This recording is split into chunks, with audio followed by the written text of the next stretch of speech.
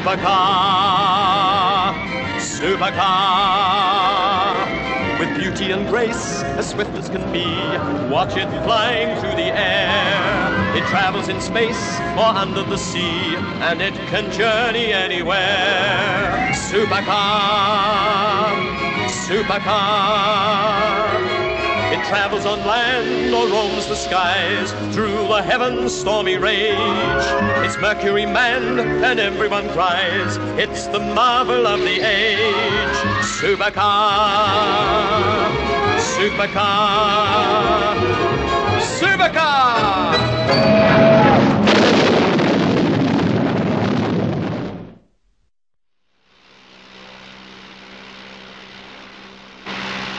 Well, Jimmy, better start looking around for Hudson Field. We'll be back there in about 20 minutes. Gee, I sure do love flying. So does Mitch, I reckon. Well, Jimmy, you still want to be a pilot like your big brother? Sure do. Guess it won't hurt to have two pilots in the family. Hold it. We've got trouble. What's the matter, Bill? Engine's cutting out. We're losing altitude fast. I'll have to ditch. Jimmy, stand by to get that raft out. And brace yourself. Mayday, mayday, mayday. Hudson Field, this is Falcon 26 calling Mayday. Engine failure. I'm ditching. Position approximately 30, 30 miles west of Devil's Point. Sea level visibility looks bad. Do you read my position? Over. Roger, organizing helicopter rescue, over. Roger, Hudson Field. Impact in 30 seconds from now. Falcon 26 out.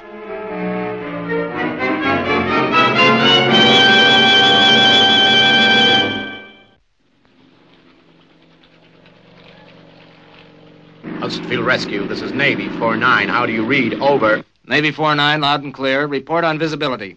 Rescue Hudson Field, visibility fair. Heavy ground haze in places. Over. Weather report says visibility in crash zone is liable to get worse. You may have difficulty in spotting survivors, over. It's getting misty. Sure seems we've been here a long time, Mitch. They'll pick us up soon, though. Wish I could do something for Bill. I guess the only place for him is in the hospital.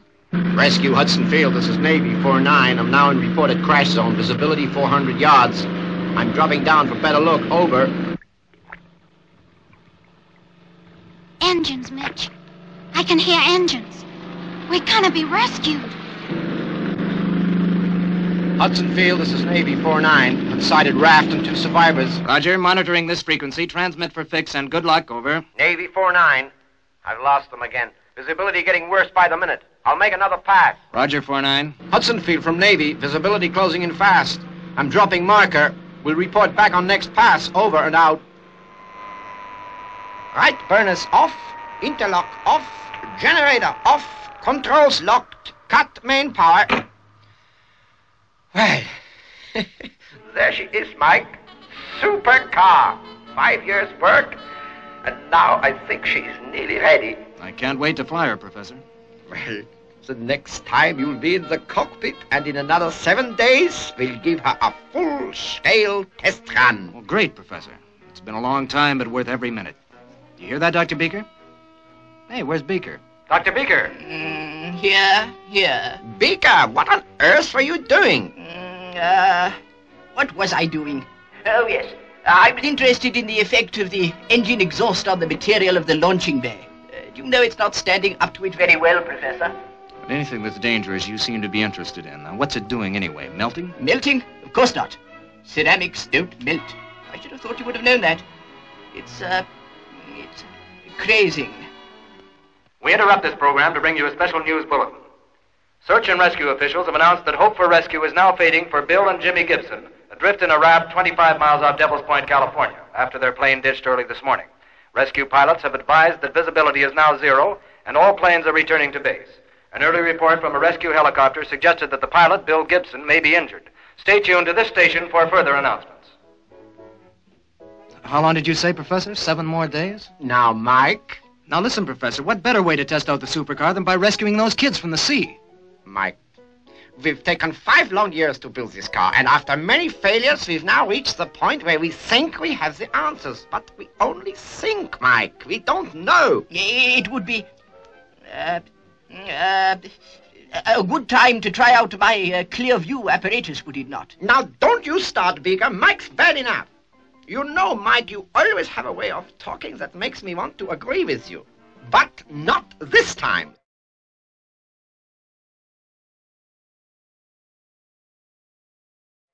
How long have we been here, Jimmy? I don't know, Bill. Seems like an awful long time. Hasn't there been any sign of a, a rescue plane? Yeah. But it was too misty and they couldn't find us. That means we'll have drifted from the position I gave the field, too. I think we should try and pick them up without delay in, uh, mm, um, a supercar. Yeah, but you know what the professor said, Doc? Not to move until she's thoroughly tested. It's just that time is the one thing we're short of. But I guess he's right. Mm, I believe so. I do believe so. For one thing, I should not feel entirely happy about the rocket outlets. Rocket outlets? Why? Mm, Well, they are, you see, made of ceramic. And I am mm, suddenly mindful of what happened to the ceramic of the launching bay. Uh, you remember? But, Doc, that's not the same ceramic the rocket nozzles are made of, is it? Mm, admittedly, uh, no. But all the same, uh, for my own peace of mind, if nothing else, I am going to run a heat test on the rocket outlet material. It is just possible that the exhaust gas temperature may be higher than our tests at first uh, mm, uh, indicated. Mind if I stick around? Certainly not. Most certainly not. We will watch a fragment of the ceramic material being subjected to an extremely high temperature uh, through this dark panel of glass. You, you see, the glare is likely to be mm, is likely to be uh, mm, uh, severe. Well, now, first I will build up a considerable electrostatic high voltage charge in these storage condensers. Mm-hmm. Uh, it takes a few minutes. The charge must be the precise amount. Why is that? Well, If it were too heavy, in my opinion, and it is only an opinion, there could be an explosion. Thanks. Ah, yes. We are nearly ready. And now, I release the charge, and the thermite bomb fires. Most interesting. Most interesting. I really must overcome this problem. What's the trouble, Doc? I find it most irritating. It takes far too long to bring this liquid to a suitable temperature for infusion. Is this part of the test for the ceramic, Doctor? Test for the ceramic? No, of course not. I'm just making a cup of tea. A cup of tea? But what about the test you just carried out? Was it okay? The test? Oh, the test. Satisfactory. Ah, most satisfactory. Well, come on, Doc. Let's get working on the car. I will be with you in a moment, pilot. Rome wasn't built in a day, you know. Mm, yes. Satisfactory. Most satisfactory. Jimmy, there's an emergency package in the side of the raft. Enough supplies and water to keep us going for a day or so. Okay, Bill. I'll get you a drink of water. Mitch,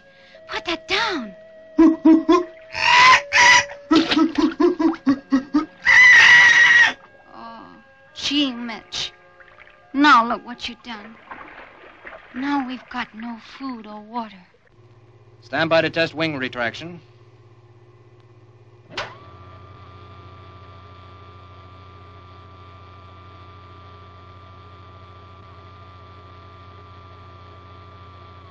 Seems all right, Mike.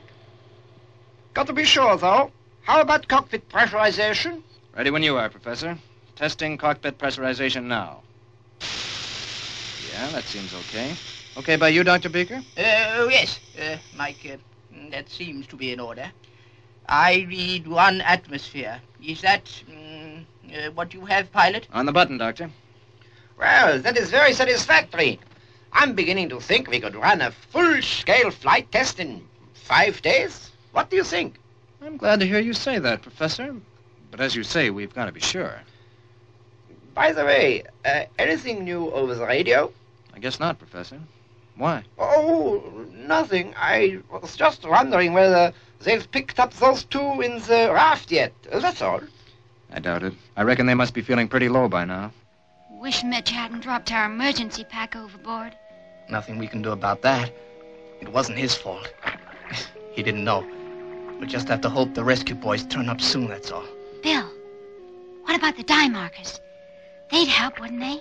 Shall I drop one over? No use in this fog. It'd be all right if it was clear. In fact, if it was clear, we'd, we'd stand a better chance all around. This clear view, of Gizmo. Should we test it now? Okay with you, Dr. Beaker? Certainly. Most certainly.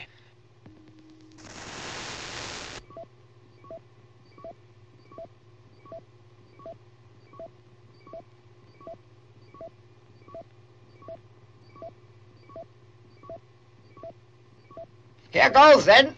Smoke generator on. No smoke. That's funny. Dr. Beaker, we don't seem to have any smoke. N- no smoke? Hmm, hmm. Well, now who's a fool? What's wrong? A small miscalculation. Uh, Professor, I have omitted to remove the, uh, mm, uh, safety cap. Uh, one second. Hold on a minute, Mike. Beaker has just gone to look at the smoke rig. Mm, ah, yes. As I thought. The valve is closed. Just one tug to the right and... well, now's the time to see if the Clearview works. Switching to Clearview now, Professor. Yes, Mike, I can see Beaker clearly. but I don't think Beaker can see much. All right, Doctor. Starboard three paces. Half ahead port. There. You should be all right now. I guess this means that Gizmo's passed the practical test, eh? Satisfactory. Most satisfactory. Uh, what do you think, pilot? 4-0, Doctor. Good for your brainchild, Beaker. Shall we try the navigational video map too? Sure thing, Professor. Selecting video plan now. Video plan working.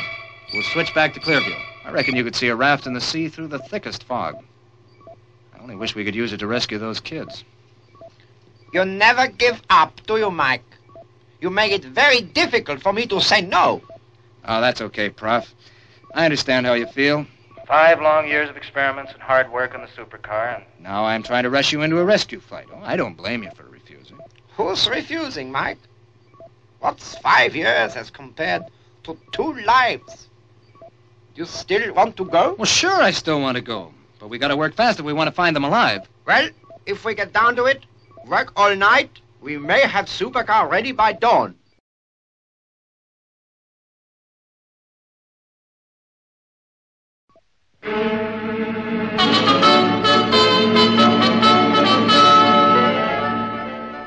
Right, Mike. She's ready. Stand by for takeoff. Beaker, will you check the instruments for us?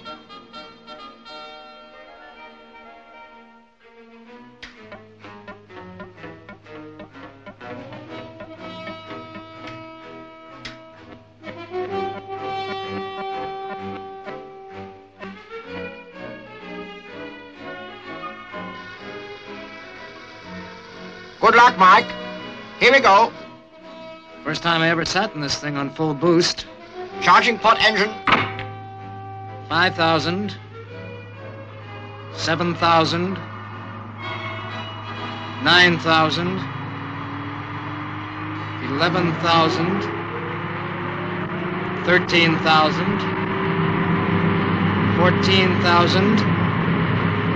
15,000. Interlock on. Correct, you confirm, please? Yes, indeed. It's uh, all correct here. Fire one.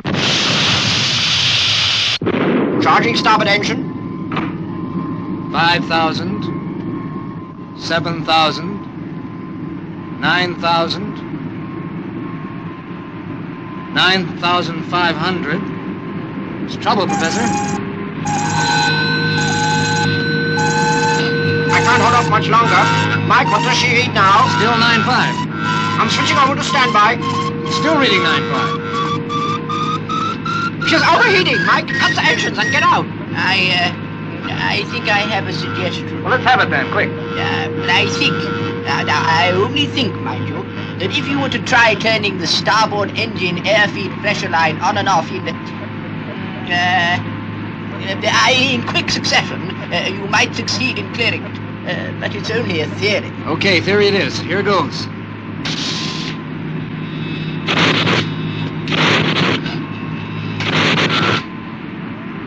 That's done it. Good for you, Dr. Beaker. 9,005, 10,000, 11,000, 12,000. I've got to let her go now, Mike. Interlock on. Here's hoping then. Fire two. Okay, Professor, she's firing nicely. Good.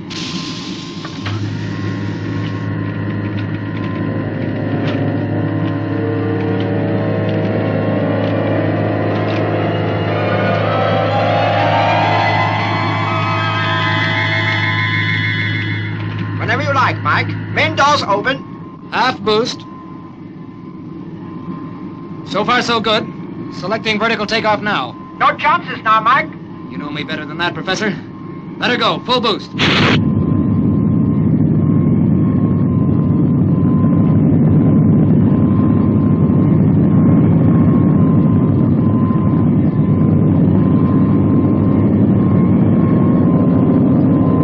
How's she doing, Mike? All right?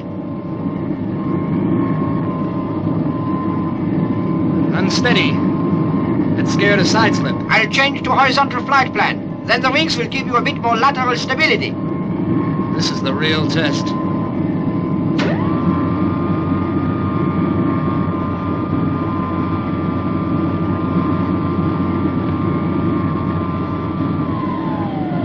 Give up full boost, horizontal. Here we go. How are you feeling now, Bill? Not bad, Jimmy. Gotta have some water soon. Gotta have some water. Just hold on, Bill. You'll get some water soon. Help must be coming by now. They'll find us. I know they will. It can't be long now. If anyone can find us on this. Supercar calling base. Supercar calling base. According to video plan, I'm approaching crash zone. Switching to clear view. Right, Mike. Select wide angle lens. Can't see anything, Professor. They must have drifted during the night. 30, uh, 32, and uh, 3 east uh, for tidal drift. I make it 195 magnetic uh, for about 5 minutes. Turn on to 195 magnetic, Mike. That's according to Beaker. That's all right by me. He never misses.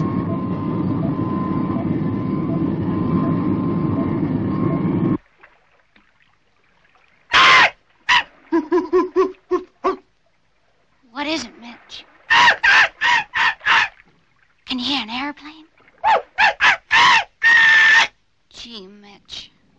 I can't hear anything. Wait a minute, though. But it's nothing like airplane engines. You're right. There's a noise straight above us. Hey, it's funny. Sounds like something from another world. We must both be dreaming, Mitch. Altitude 1,500 feet. Sunny and clear up here, but heavy fog below me. Am I at your calculated position, Doc?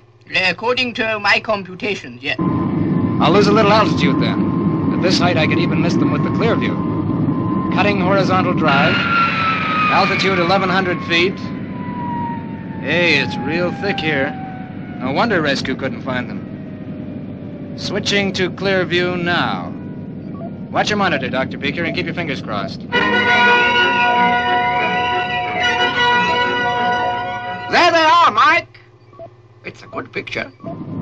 Yeah, that's them all right. I'm going down for a closer look.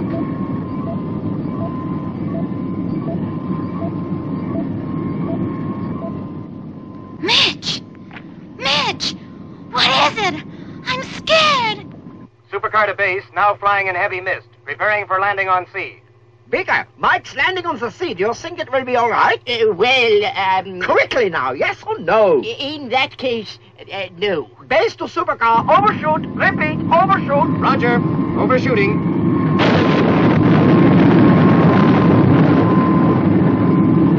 Oh, look here, pilot, you can't make a normal approach. The supercar's hull may not stand it. Make a vertical descent. Yes, sir, Dr. Beaker.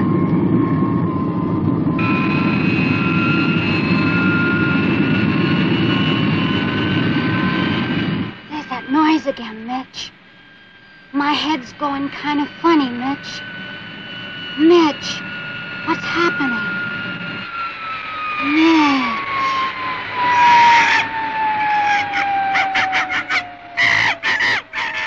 Okay, I'm alongside the raft. Beaker, I will tell you to switch on the horizontal gyros. It will help hold him steady in the water. Is that altogether wise, Professor? What do you mean, Beaker? It may cause supercar to rotate in the water. Poppycock.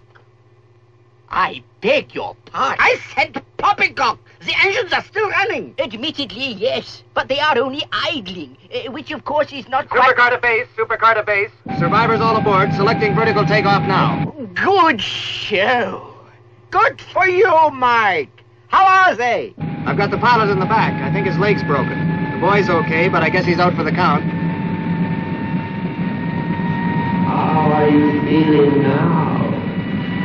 There's no need to worry. You're safe. Everything's going to be all right.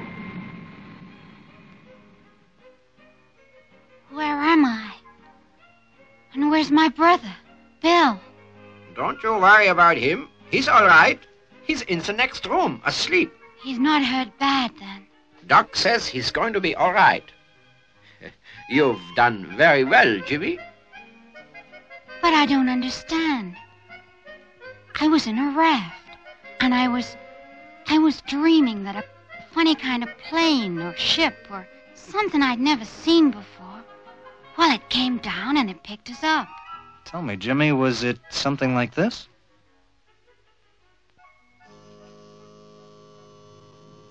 Then it wasn't a dream after all. No, it really happened, all right. The professor here took five years to build that. What is it? Well, uh, we call it uh, supercar. Supercar? Boy, is that it? Yeah, that's it. I'm glad you like it, Jimmy boy, because as soon as you're well enough, you're coming up with me for a ride in it. Thanks. Hey, I almost forgot. Where's Mitch? Hey, you wouldn't by any chance be talking about that monkey, would you? Because if you are, he's okay too. I sure am glad to hear that. Can I see him? Sure you can.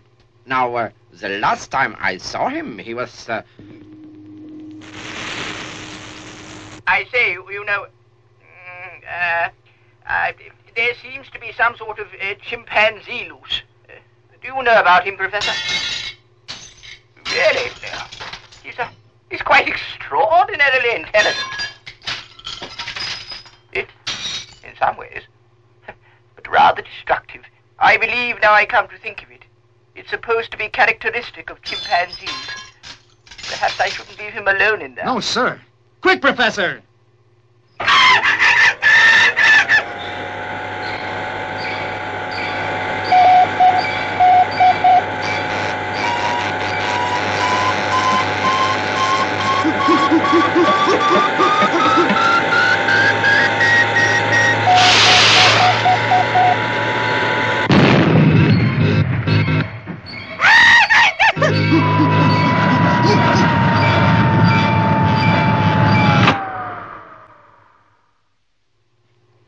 I say, is everything all right? Yeah, Dr. Beaker, everything's under control. It looks as though we've found a co pilot.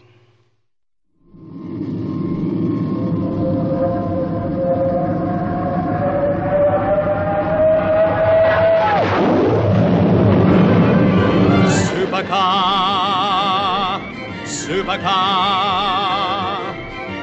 and grace as swift as can be. Watch it flying through the air. It travels in space or under the sea, and it can journey anywhere. Supercar, supercar. It travels on land or roams the skies through the heavens' stormy rage. It's Mercury manned and everyone cries. It's the marvel of the age. Supercar. Supercar. Supercar.